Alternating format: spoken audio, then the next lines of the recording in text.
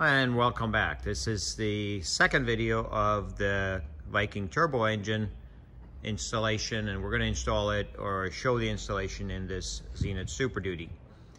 Today we'll talk about things like the cowling installation, the intercooler, the batteries, battery cables, electrical, and instrumentation.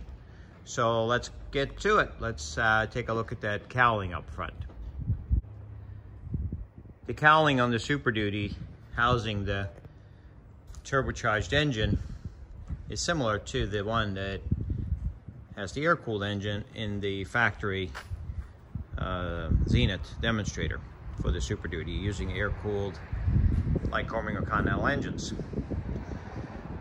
The things that are different is the uh, inlet on the bottom for the radiator to get cool air directly into the radiator at uh, high angles of attack when the airplane is doing its best, which is short takeoff and landing flying. There's an opening for the gearbox to cool the gearbox, again for a lot of power and slow flying. That can be tailored, doesn't have to be quite that big. Um, also would be nice to add a little drain hole there underneath the gearbox in case you want to drain the gearbox oil without taking the cowling off.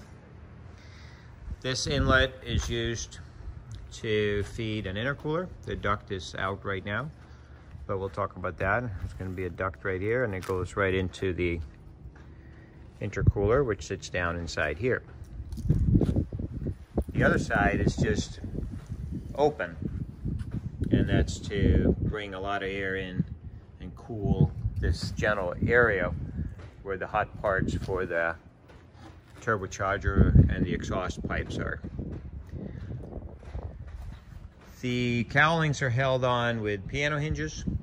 It's much easier to do on the Super Duty than other airplanes that we've worked on because it's completely straight, so no problem there. We use a, a three inch extension in order for the cowling and the spinner and everything to work out. So you would get a three inch extension for this one, which Viking has. And as you can tell, even the top line of the cowling comes out a little bit. It's not a straight shot. And again, that's the leftover of the Lycoming installation. The top cowling is very simple as well. It just goes on top of here.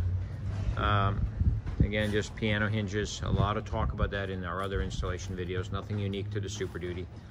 And a short piece of hinge up here keep the cowling from moving back and forth and lock it in about eight inches or so worth of hinge on the top there. And that's all there is to the cowling installation. It's very simple. You do have to, you know, formulate a, an inlet for the duct for the intercooler. And we'll talk about the intercooler installation next. So exactly how big of an intercooler do you need? Well, in racing circuits that allow turbochargers, that question is always answered by as much as you have room for. And that's true.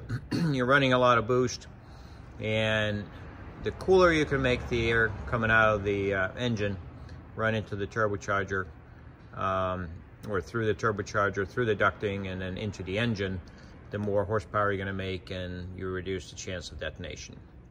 Of course, the direct injected engine is kind of immune to detonation anyhow, but we wanna drop the air temperature as much as possible across the intercooler and we'll talk about instrumentations and parameters of the engine later.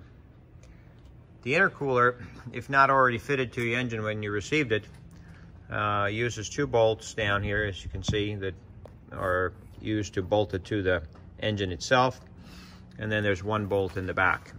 And that's what supports the intercooler to the engine right there.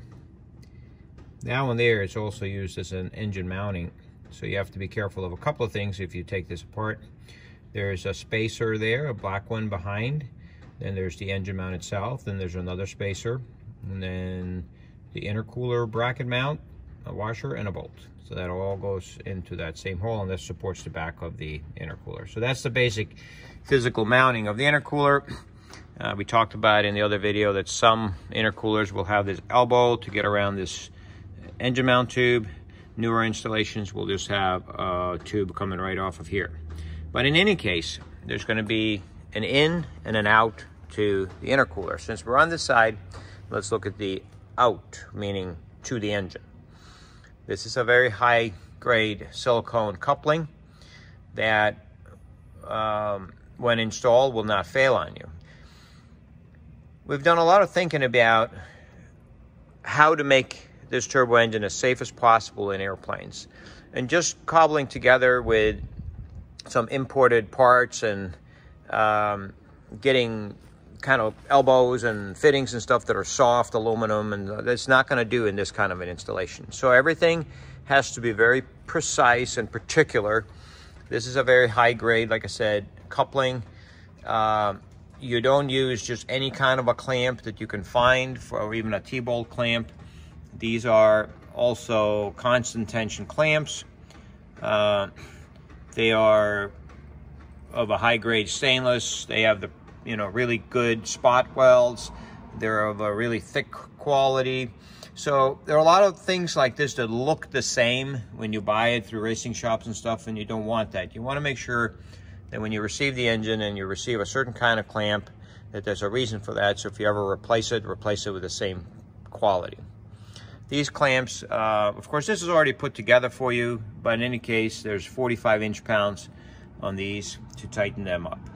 And as you can see, it's a fairly fail-safe system because the duct is in between the intercooler and the engine and it can't really go anywhere and you will will be seeing quite a bit of boost there so that's one area that needs to be secure now as far as uh, the output of the turbocharger that's on the other side of the engine this has an inlet filter here and then it comes back and it goes through the turbocharger and then it exits the turbocharger here. Again good clamps. We use a 90 degree here another constant tension clamp there. And then it really just kind of drops down in the cowling here and goes, as you can see, across to the other side. And that's all there is to it. So really what I want to point out is just the quality of the clamps. And if you want to do any kind of maintenance on a yearly basis, um, it wouldn't hurt to remove all that, wash all the parts in soap and water, get all the oil out of it, inspect your clamps, uh, and then put it all back together because you don't want any of these ducts to come apart. All right, so that covers intercooler installation and we'll move into onto the battery installation in this particular airplane. Because we're kind of wired this whole thing as an open panel or no panel uh, system where you can put an iPad and move it around and you know, put whatever you want here and move it around. We don't have a traditional instrument panel. So in this airplane, uh, in order to have a place to mount everything, uh, we had to also use the space that's available underneath the seats. So passenger seat have the uh, batteries. We don't use these lithium batteries anymore. Uh, I don't like them, but we do have batteries, uh, aircraft style uh, batteries that we sell that are just a tiny bit heavier, but more uh, predictable than lithium. As you can see, we have fire extinguisher in here because we have lithium batteries in the cockpit or any kind of battery.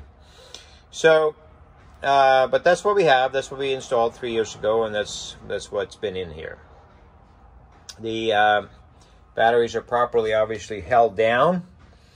Um, things like getting the proper tools to put your lugs on is important. I've seen crimps that don't even have dimples in them, so you, you don't want anything like that. You want to make sure that, you know, cables can't separate from your battery, especially on an engine that requires electricity to run.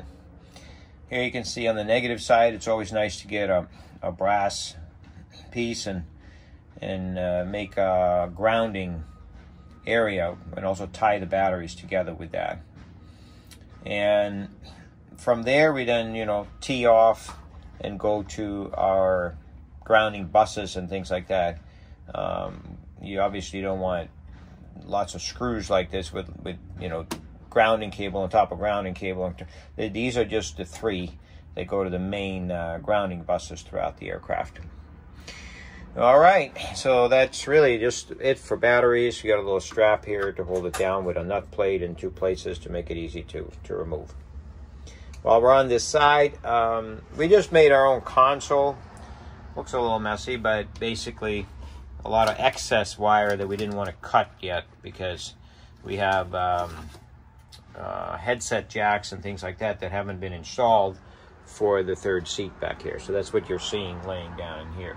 But it's just a handy, you know, fold down panel in the console where you can go in and, and uh, get to your wiring. We also wired in some charging ports uh, on both sides and headset jacks right here. So, but that's not really engine related. What is engine related are like more up in here. We have our switches and we also sell switch panels now that are finished and can be bolted in somewhere in the airplane. Uh, but these are the essential things that you would keep your engine running, your master switches, which means the two switches that close the contactors. You know, they ground the contactor and this grounds the second contactor, which means that's what turns power onto the whole airplane. Uh, you can run one battery, the other battery, both batteries, and even no batteries for an emergency with the alternator on. Then you got individual pump switches for fuel pumps. And um, usually we would then put the alternator on this one. This actually has the alternator on the key switch, which has been changed up through the years. And so this needs to be replaced with that. But you'll see that in our more recent installation videos. So you put your alternator on a switch as well. And then of course this other stuff is, is uh, for lights and, and things like that. We do have a cool light on this uh, Super Duty, by the way. And that's this this guy right here. He really shines up the, the runway and people see us coming with that big light bar. Now, let's go to the other side and see what's underneath the other seat. And it's more of the individual wiring. All right, so we're on the other side. Um, first impression, even for me that did this three years ago, a little bit messy, but uh, I just kind of looked at it and said, well, should I tie it up or whatever with tie wraps before I make a video? And and not really. It's it's kind of organized, even though it's um, might not look that way initially. not trying to make excuses, but every wire is properly crimped. It has its proper location. The reason I didn't want to like start tying up all these bundles is because this is an airplane that, you know, up until this point is a test airplane we add things. We, are just now adding uh, uh, another gauge uh, to replace one. And it's just easy to follow the wiring if it's laid out organized, but not all bundled down until, until you know, everything is finalized. But the main stuff in here is, um, you know, what you need is you kind of need a, uh, some place for your avionics and some place for maybe engine related stuff like fuel pumps and things. And you're going to need so those are all fused, and then you're going to need a, a bus bar somewhere that actually is just connecting wires through for, uh, you know, for the tach and things like that. Some stuff that comes off the computer, and then you want to go from there somewhere else. And if you don't want to like twist wires together and solder, you need some place where you can just have a junction block to, to do that. And then the main contactors are here as well, which is then the input from the batteries that are across the console over there. Uh, one positive to each contactor. And then the outputs are tied together, so you can use one or the other or both. And then uh, we tee off with the wire that goes to power up the, you know, the main engine bus to provide um, power to the rest of the airplane. Um, this is actually covered a lot better in other videos, and of course you're going to be doing your own thing. Um, as far as wiring, uh, you might not even do it underneath the seat. Uh, not everybody's going to be doing the unpanel design, but that's what we were faced with, is uh, finding a space to do it, and we did. Uh, in order to then get through the console, you kind of have to put grommets in and come out here and go back in because there's not really any room down inside there. Uh, there are cables running, there are control rods running, and of course you want to stay away from that for the wiring. Other things we got here, we got another charger thing, we got uh, the key switch, which I'm going to move. Um, the It's just hard to get to there. It's going to be moved up here.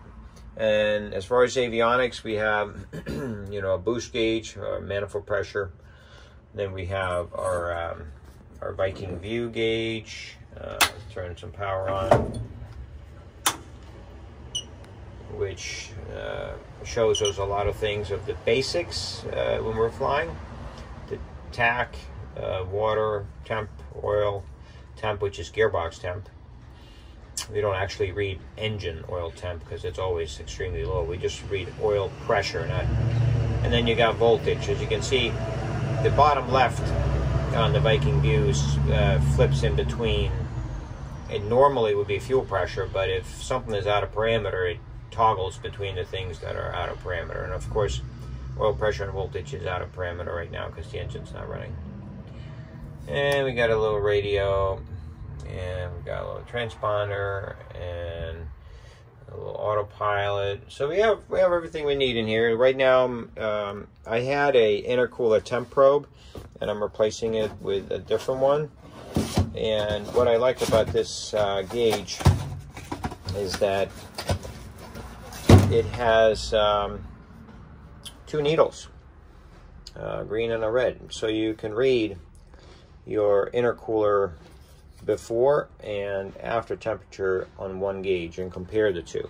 And of course, that's the whole idea with the intercooler is to see how efficient it is.